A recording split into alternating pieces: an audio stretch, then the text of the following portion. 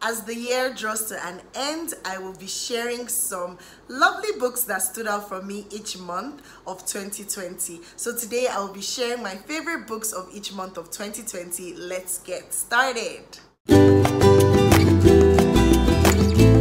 Hi guys, welcome back to my YouTube channel. It's Rachel here. As always, hit that subscribe button so you never miss a thing. You can also like this video so that it is be fair to other viewers as well. So I'm going to be sharing with you guys the books that stood out for me in each month of 2020, my favorite picks of each month of 2020 so this one is going to be tough because i actually read quite an amazing amount of books this year. I think i'm currently on my 50th book and my goal for this year was to read 50 books. So yay i'm excited about that and i'm even looking forward to reading other books i might get to 52 or 53 before the year runs out but i am not trying to push it so i'm going to share in another video with you guys the books that i read i'm going to run them down and show how I was able to read those 50 books in one year. Some months were good, some months were not good. Look, there was a, there were months that I read only one book. There were months that I read only half a book and there were months that I read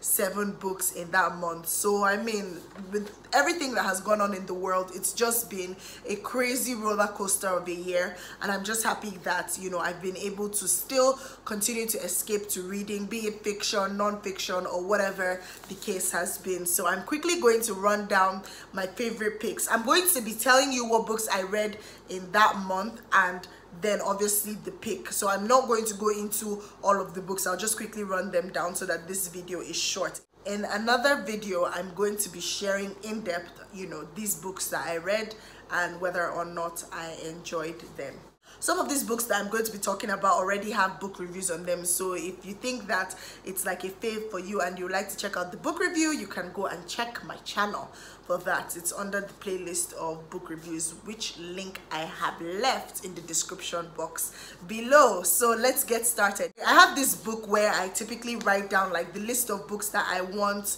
to read or that i read or that I've read in each month just so that I can keep track of my TBRs, that's my to be read, or my progress in terms of my goals and how that is going. So in January, I only read one book. Whew, not surprised there. I guess I was still recovering from dirty December or whatever they call it in 2020 in 2019. So I only read The Curious Case of Benjamin Button, which I'm sure will be my favorite for January since I only read one book. I had only watched the movie, I think before and I typically don't do that. I typically would read the book first before I watch the movie but this one I watched the movie because I never really thought I was going to read the book and I think this book was chosen for as one of the books that we were supposed to read in the book club. That's actually why I read it. So yeah that would be my fave for January The Curious Case of Benjamin Buttons in February, I read Children of Blood and Bone by Tomi Adeyemi, on Ajayi Crowther Street by Elnathan John, Everything is Figureoutable by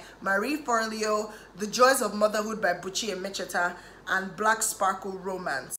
My favorite in February is tied between Children of Blood and Bone and on Ajayi Crowther Street. On, obviously on Ajayi Crowther Street because of my bias for Nathan John. But if I was to if I was to give it to, I mean, what book I really enjoyed, I would definitely say Children of Blood and Bone by Tomi Adeyemi for February. In March, I read Everything Good Will Come, Children of Virtue and Vengeance, and The Mastery of Love. Oh my goodness.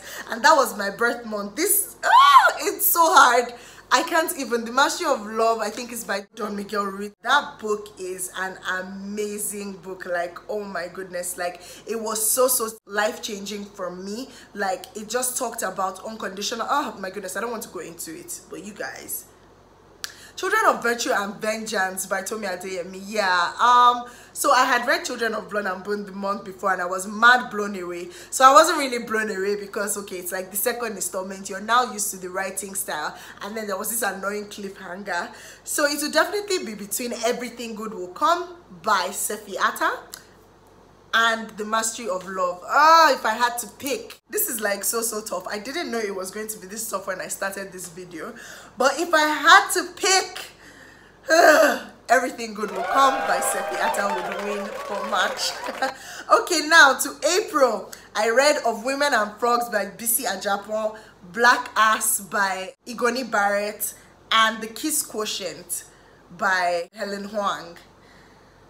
If I had to pick who won, hands down it would be Of Women and Frogs by Bisi Adjapon. You guys can check out my review on that book. This woman made me cry. Like, that book was an amazing, amazing one. Like, I really enjoyed myself reading it. Like, yeah. For May, I read Who Moved My Cheese. I read um, Our Iceberg, uh, Our Iceberg, Our Iceberg is Melting. You Are a Badass by Jen Sincero. I'm telling the truth, but I'm lying by Bassey Ikpi. I read Stay With Me, My Lovely Wife. Wow, wow, wow. The Farm. Oh my goodness. May was actually such a month. Wow. Well, it's definitely not going to be Who Moved by Cheese and Our Iceberg is Melting. Even if I did reviews on that. Like, these are amazing non-fiction books that you guys can read. They are short too and they talk about change. So especially when the lockdown was happening people were losing their jobs. There was a lot of change happening in the world. This was an amazing book that we selected in the book club for us to read. I did a review on that and shared some of my own personal insights. But you see stay with me. Oh my god.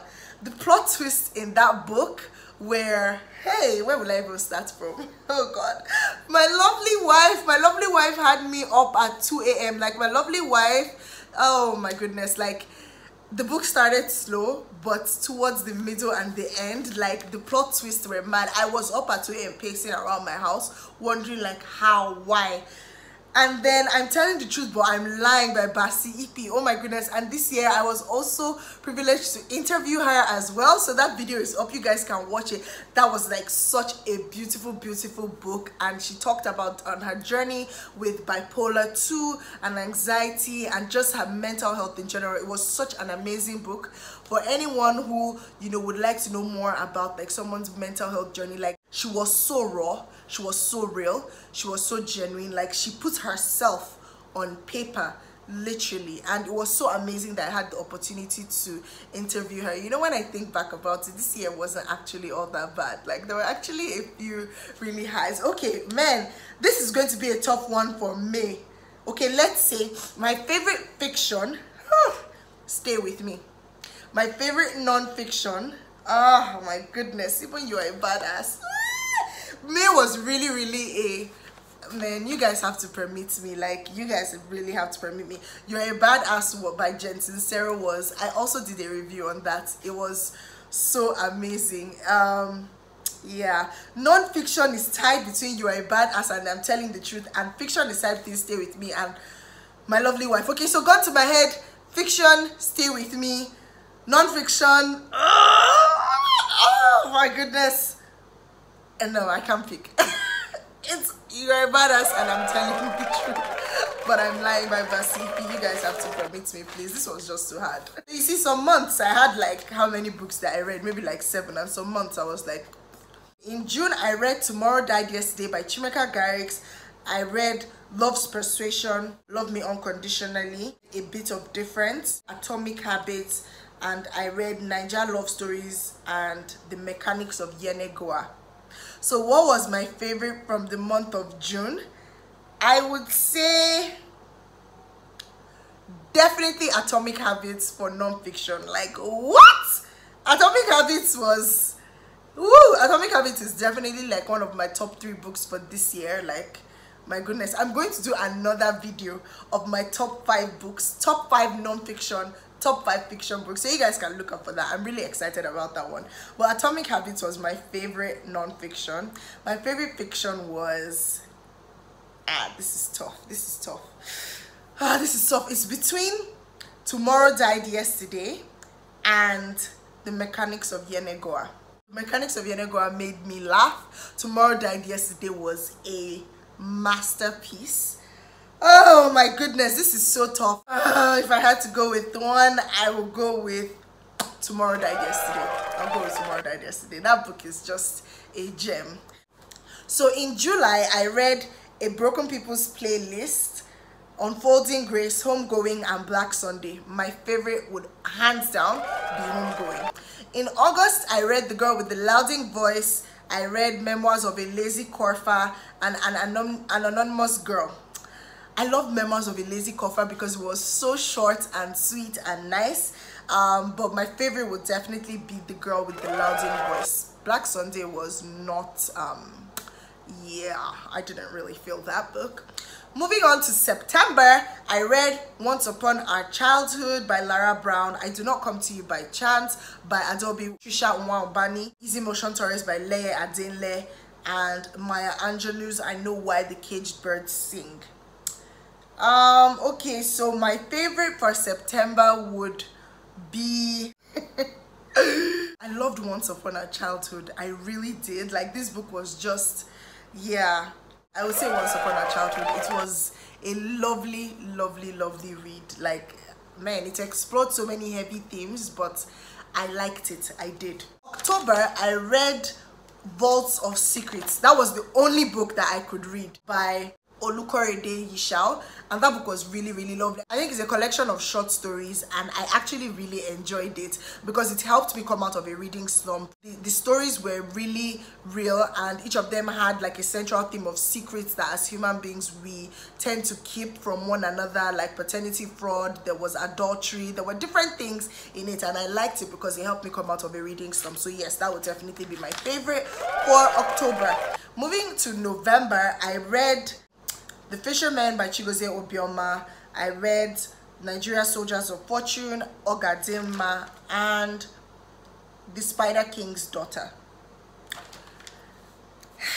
okay, so my definitely my favorite for non-fiction would be Nigeria Soldiers of Fortune because that book is amazing. It um it explores Nigeria's uh, what do you call it like Nigeria's historical um, years from Abacha to Obasanjo, it's it's Max Siollun is top notch. Like he does amazing with Nigerian history. So if you guys are looking to read more about Nigerian history for research or for knowledge purpose, then any book by Max Siollun is sure to do it for you. For fiction, uh men, the fisherman, Ogadimma was amazing. But you see the writing style of that the fisherman, man, so my favorite for fiction was definitely The Fisherman by Chigozie Obioma. So in December, I've read, so far I've read Yobachi, Okada Love, Keke Love, Escapades of a Bored Housewife, First Fruits, which is a poetry collection. I'm currently on, on an orchestra of minorities and brimstone and rainbows and maybe i'll let you guys know with time which one was my favorite. So let me know in the comments if there are any of these books that i've mentioned or any ones that were my faves that you've read let me know in the comments how it was for you. If there's anyone that you would also like to read let me know as well. This was actually a lot tougher than i thought it would be. I thought i would just like read out the books that i read in the months of whatever and then i'll just be like oh my favorite was but it's actually really tougher than i thought especially for some months that i read so many interesting fiction and non-fiction books. But subsequently i'm going to do towards the end of this year i'm definitely going to put up my top five non-fiction books and my top five fiction books of the year 2020 so you guys can look out for those videos. So thank you so much for watching this video. I will see you in my next one. Bye